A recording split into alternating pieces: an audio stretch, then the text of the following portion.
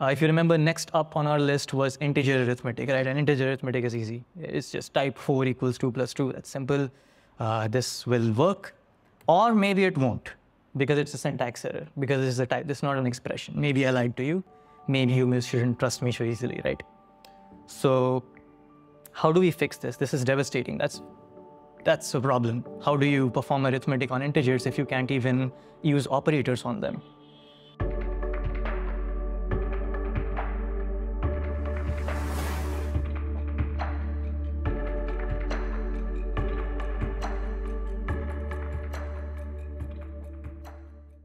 Uh, hello, hello, everyone. I am Srijan, a language engineer at DeepSource. I work on the JavaScript analyzer. And today I'm going to talk to you about writing type level programs in TypeScript with higher order types, right? So TypeScript is a programming language that transpiles to JavaScript. I'm sure you all know that. It's a Turing complete language. You can compute pretty much anything with it, uh, as you can with other languages. I'm sure you know that as well. But did you know that TypeScript's type system itself is also Turing complete? Meaning using only type declaration statements, you can do actual computation. So what is a type level program, right? A type level program is a program that only has type declaration statements in it. And when you compile it, you have this one restriction that the generated JavaScript file should be empty. So it means that you cannot use any statements that can get transpiled over to runtime JavaScript which means you can use the interface keyword, you can use the type keyword, you can use namespaces, but everything else is banned, right? So I've divided this talk into two sections. In the first section, we're going to cover some commonly used features in TypeScript, which you will need to know about to understand type level programs. And I'm going to run through these quickly. I'm going to assume that most people here already know uh, TypeScript. And after that, we're going to get to the actual meat of this talk, which is the type level programs themselves, right?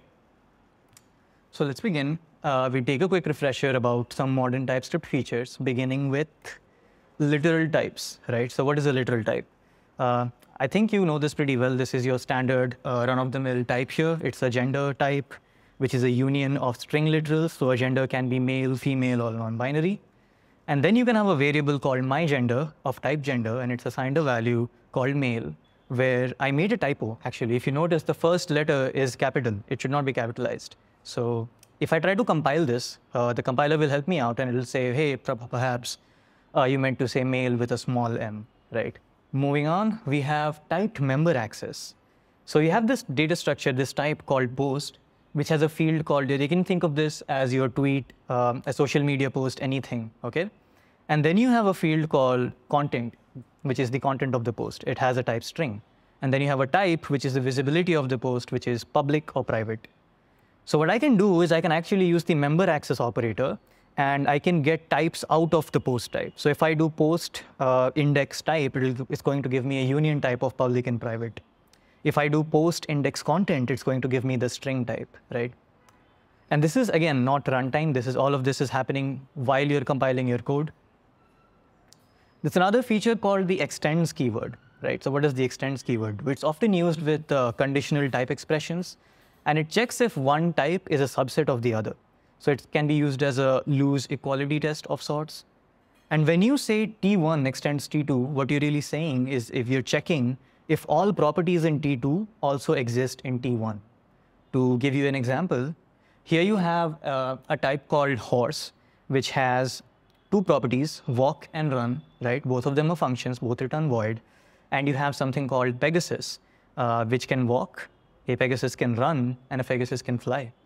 So a Pegasus can do everything that a horse can and it can do more. So when you say Pegasus extends horse, the type system resolve, uh, like resolves this value to true and it executes this then block of the conditional expression uh, to true.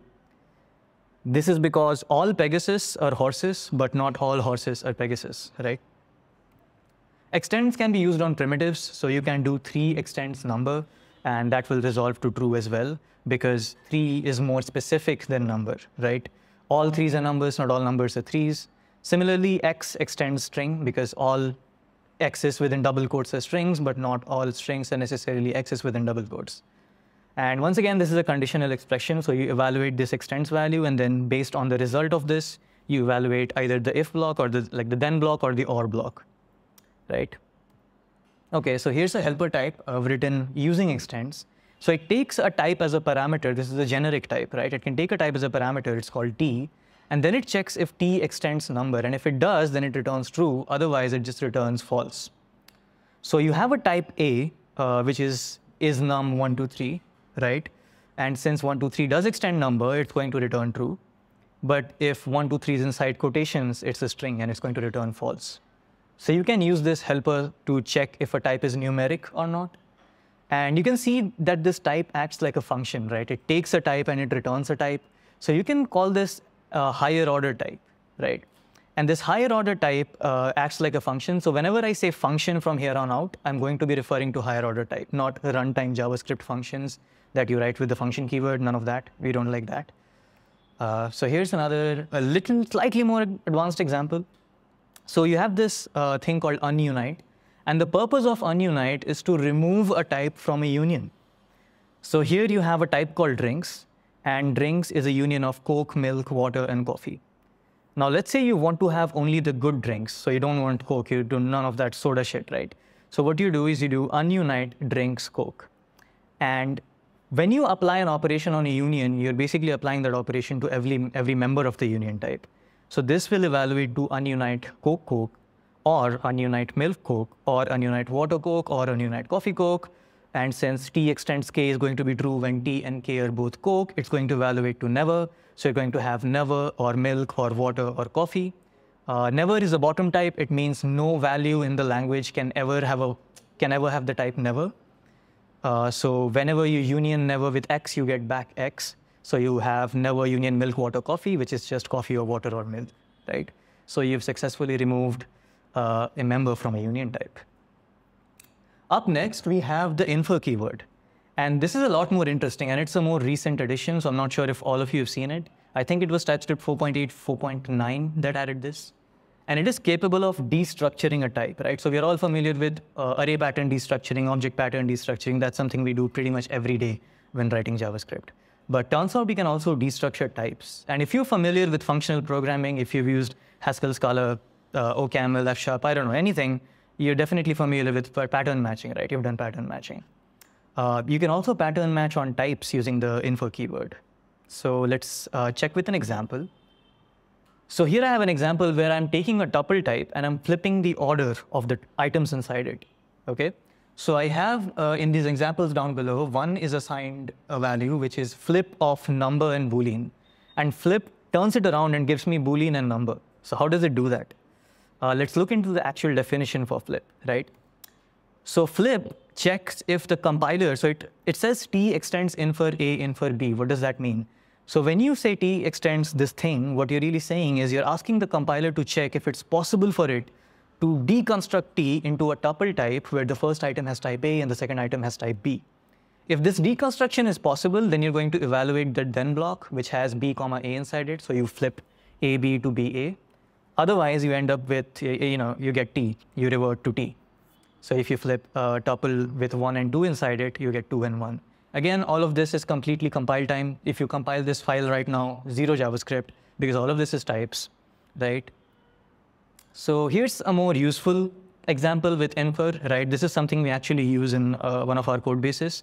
You have this helper called args, and it takes a type parameter t and checks if t can be deconstructed into a type, which, which is a function that has an argument list of type A and a return value of type R. If this deconstruction is possible, then it returns the type of the argument list, which is A. Otherwise, it just returns never, which is to say that perhaps t is not a function uh, to begin with. So when you use the type of keyword and you pass args uh, type of maths.pow, you get number number. Uh, so obviously maths.pow takes two numbers, raises the, first, raises the first to the power of the second. We all know that. Uh, if you do args type of document.get element by ID, you get a tuple type with a string inside it, obviously.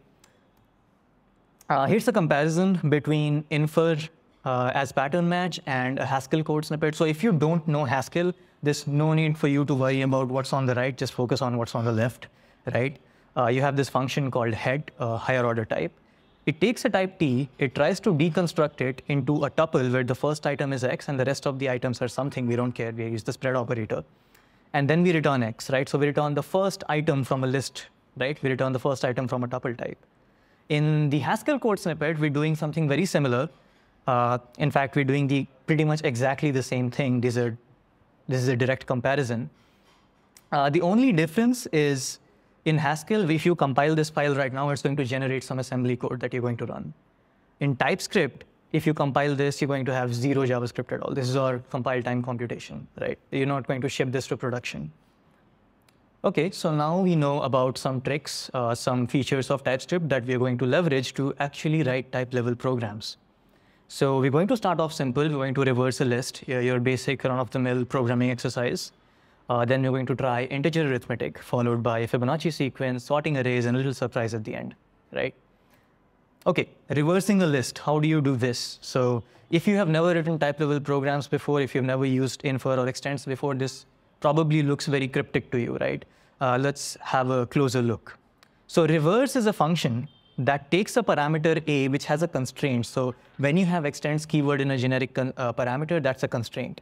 So it says a extends unknown array. And what we mean by that is we're saying that a has to be an array. We don't care what the items in the array are. We don't care the type of the, we don't care about the specific type of the array, but we must, uh, we require that the parameter to reverse must be an array, right? So when we call reverse of A, the compiler checks if it is possible to deconstruct A into a tuple type where the first item is A0 and the other items are just termed rest. So we use the spread operator to indicate that you know rest is an array. And then if this is possible, if this deconstruction is indeed possible, we reverse uh, rest and we put A0, which was in the beginning at the end. And we recursively call reverse on rest and put that first. And that will reverse your array, right? So to show you if this works or not, I'm going to head on over to my terminal here. And I have this reverse function, the one I showed you in the slide. It's the exact same one. Uh, and I'm going to do type something is reverse of 1, 2, and 3, right? And if I do that, you can see that it's 3, 2, and 1. So we have reversed an array successfully. And remember, again, these are all types. These are not values. So if I have number here, it's going to give me 3, 2, and number, right? Very useful, very cool, very nice. Uh, but what else can we do? So we can reverse a list. Uh, if you remember, next up on our list was integer arithmetic, right? And integer arithmetic is easy. It's just type 4 equals 2 plus 2. That's simple. Uh, this will work. Or maybe it won't because it's a syntax error, because this is a type, this is not an expression. Maybe I lied to you. Maybe you shouldn't trust me so easily, right? So how do we fix this? This is devastating. That's, that's a problem. How do you perform arithmetic on integers if you can't even use operators on them? Uh, let's see what the problem was to begin with, okay? So 2 is not a number here, it's a type. And you're using a plus operator as if you want to add them up, right? The problem is TypeScript doesn't understand what plus means for 2, right? It doesn't know what uh, the number 2 represents, right? Uh, it doesn't know if it's greater than 1 or less than 1. So uh, how do we do that? So what I did was I had to go for a different representation. So computers represent numbers in binary, right? Similar to that, we're going to represent as the numbers as tuples. So if you want to represent the number 1, you're going to have a tuple with a 0 in it. To represent the number 2, you're going to have a tuple with two zeros in it to represent the number, let's say 400, you're going to have a tuple with 400 zeros in it, right? But why did we choose to do it this way? Why not something else?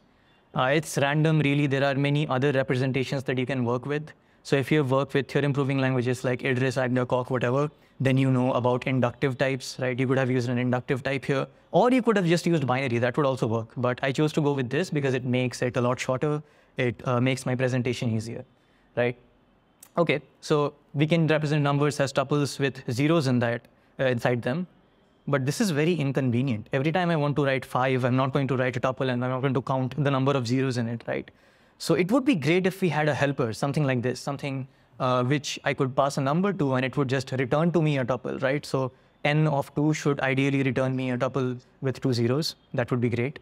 Uh, it would be even better uh, if I had a helper function called add, which could add numbers in this notation. So if I pass it a tuple with a zero and a tuple with two zeros, it returns to me a tuple with three zeros. That would be great. Uh, but how do we implement that, right? N and add right now are not defined. This won't compile. We haven't defined what N is. We haven't defined what add is, uh, but we're going to. To do that, we need to implement some utility functions first, starting with finding the length of a tuple type. So to understand uh, what the tuple with two zeros means, we need to be able to figure out the number of items in it, right? So you have this helper called tuplin, which takes an array type, right? A extends unknown array, and we just read out the length property of, of an array, right? So again, this is uh, a member access at compile time. This is not runtime code, meaning that if you just use, like if you just call tuplin on a Boolean array, it would give you the type number because the length of any array is number, right? But if you use tuples here, uh, it can actually give you the actual length of the tuple. Now, why is that? Uh, that's because in TypeScript, tuples uh, have a restriction that it, they can only contain a fixed number of items, right? The type system will do everything in its power to stop you from changing the number of items in a tuple. Uh, so if you call tuplin on 1, 2, 3, the type system is going to correctly infer the number of items in it. So a dot length is going to be 3. Uh, of course, if you try tuplin of Boolean array, it's just going to be number because the length of an array uh, is going to be a number. That's all we can guarantee at compile time. Okay, so tuplin is done. Uh, what if we had a function called maketup uh, that could create tuples for us and we just had to give it numbers, right? So we're going to implement that. We have a function called maketup and it takes two parameters. The first parameter is n, a number, the second parameter is A. It's an accumulator parameter, which is why it has a default value of empty array, right?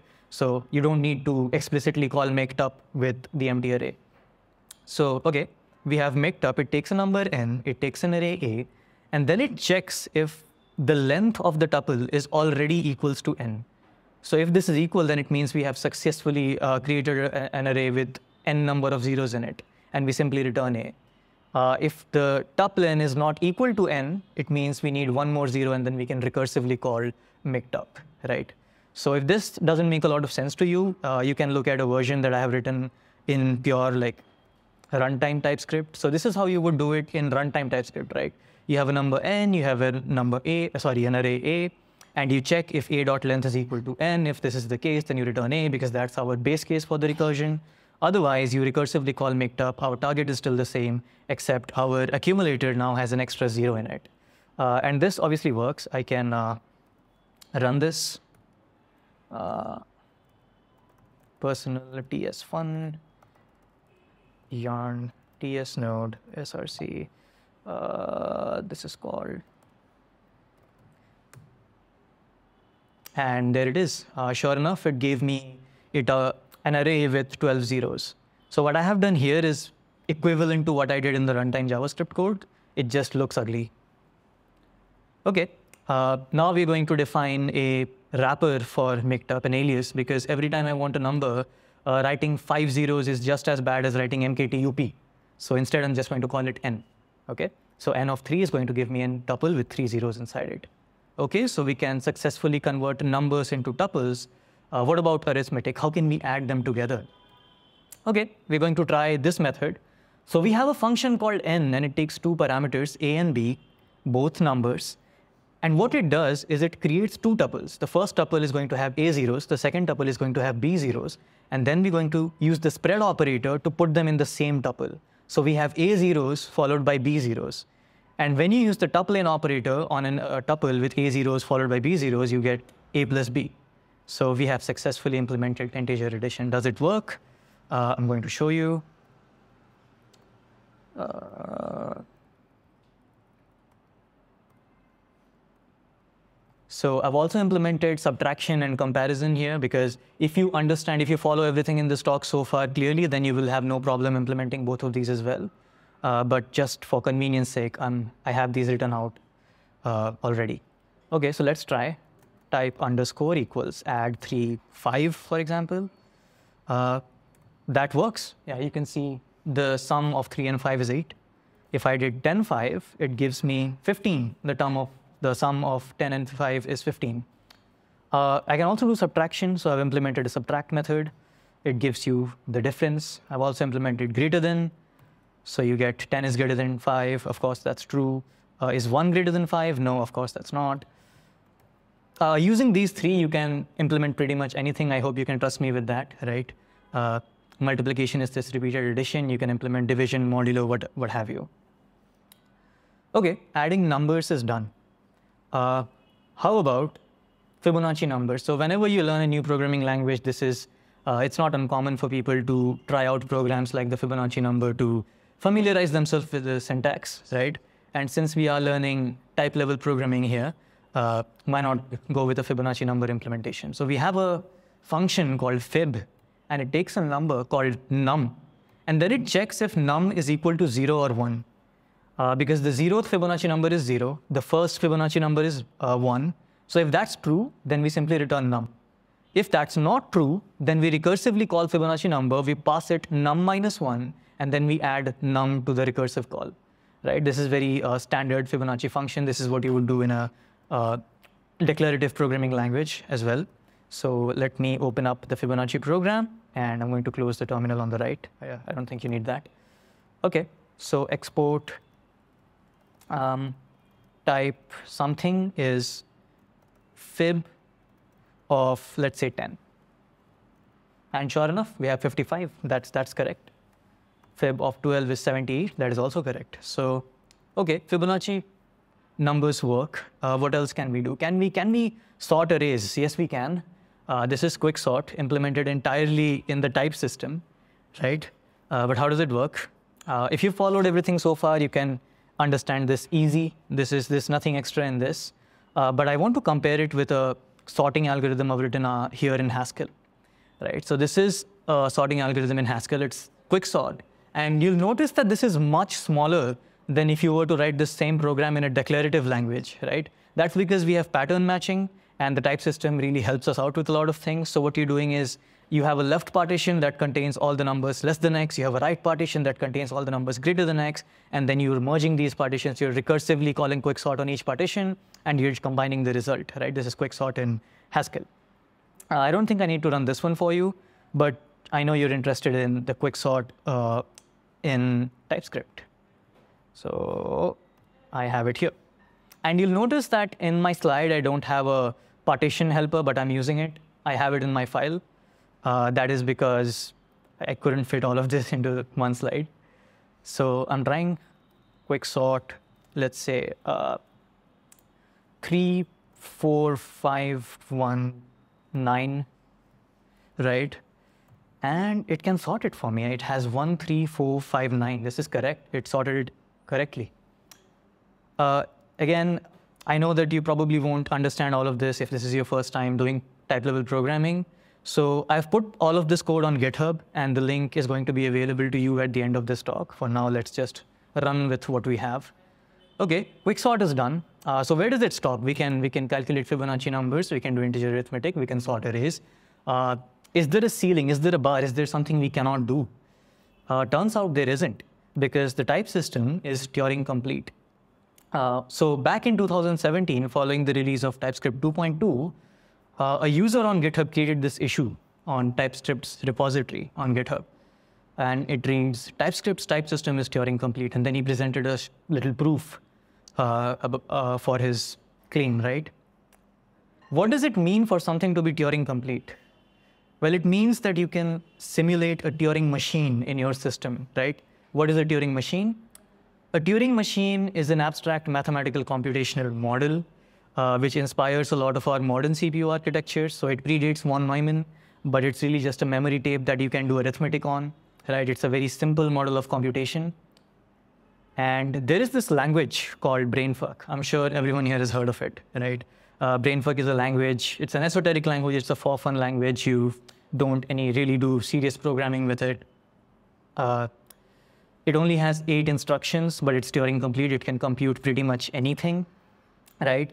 So you have a memory tape, uh, which is like 65,000 uh, cells long.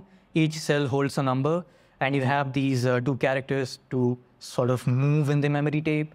You have these two operators to increment or decrement the value at the current position. These two braces are used for looping, and the final two characters are used for I.O. Uh, I hope you already know about BrainFuck. I'm not going to explain the uh, semantics of the entire language to you.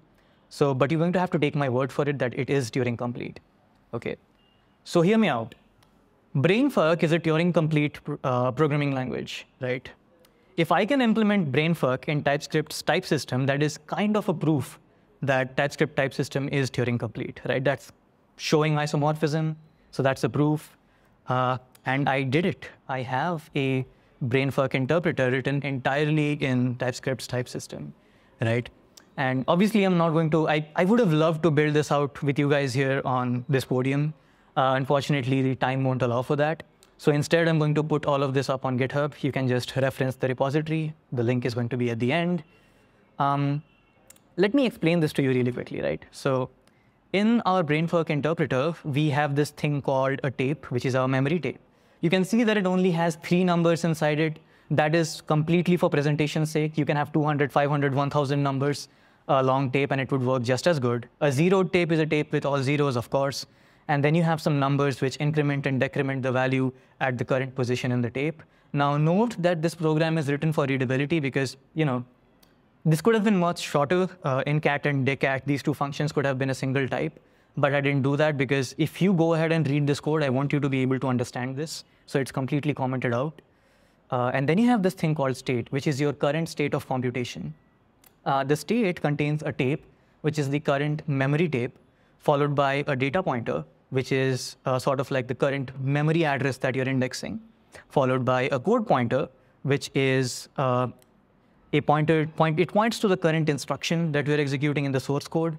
And then we have an output buffer, which contains uh, all output that is uh, you know, spit out by the interpreter. And this loop stack is just an implementation detail. It's how I do looping. Uh, so I have these things, uh, these helper functions. You can think of them like transformers. So the next transformer takes a state. It increments the code pointer by one, and then it returns the uh, new state. Uh, the increment transformer takes a state, increments the value at the current memory address by one, returns to you.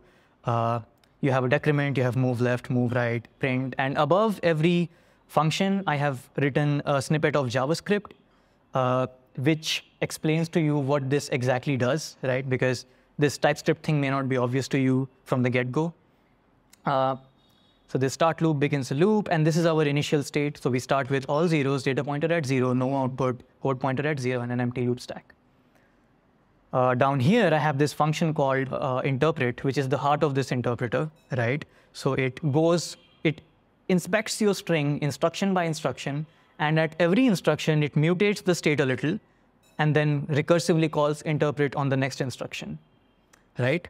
And once again, I have uh, JavaScript snippets written here, uh, written here. In fact, if you go to this repository, if you go to this uh, file and you take all the comments and take none of the uncommented code and you string that together, you'll have a JavaScript brainfuck interpreter. This is just for reference, so you can uh, understand what this code is doing. Uh, and then I have a wrapper around interpret to make things easier for me. So let's, uh, let's try a brainfuck function, right? Uh, a program. Here I have my tape initialized to 30, 40, and 0. So in the first cell, I have 30. In my second cell, I have 40, and in my last cell, I have zero. And I have this brainfuck program which performs addition. So how it does is it starts a loop, it increments the value in the first position, moves ahead, increment, sorry, decrements the value in uh, position zero, goes to position one, it increments this, comes back, decrements this, goes to top, increments this, and it does this until uh, the position, at, the value at position zero becomes uh, zero. So if I try to inspect this type, you'll see that I have the sum here. This is uh, 70, the sum of 30 and 40. Let's try uh, an empty tape. So let's start out with uh, no tape at all. And let's see if we can print things, right? So BrainFuck has this where uh, if you want to print something, you need to do it via ASCII code. So if I want to print A, I have to uh, print, I have to get a cell to hold 65, and then I have to use the dot operator on that cell. So instead, I'm going to print out the exclamation mark. The exclamation mark has 33, uh, the value of 33 in ASCII. So I'm going to, that's, uh, that's one, two, three, four, five, six, seven. I hope that's 11. Uh, and then I'm going to print whatever is in my current cell. And you can see in the output, so in the tape, of course, I have 33 because I incremented the first cell 33 times. And then in the output, I'm printing out the ASCII value of 33, which is exclamation mark, right? So we have this brainfuck interpreter, and you can find this uh, on my GitHub. The link is right here. And that's it. That concludes my talk. I hope you enjoyed it, and I'm open to any questions you may have.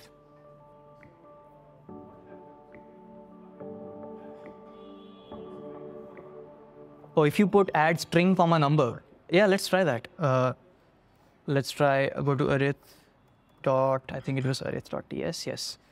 Uh, it's going to give you an error, I can tell you that much because the constraints will not be satisfied, but if you want to see it, uh, number, comma, string, you do that, it tells you the instantiation excessively deep. So this is TypeScript's way of saying that your call is incorrect. Uh, this is not the correct error message actually, because string has to extend number. So this type constraint is not satisfied, but because add is apparently too complicated, it just bails out and says, I'm not going to do this. Uh, yeah, it won't work.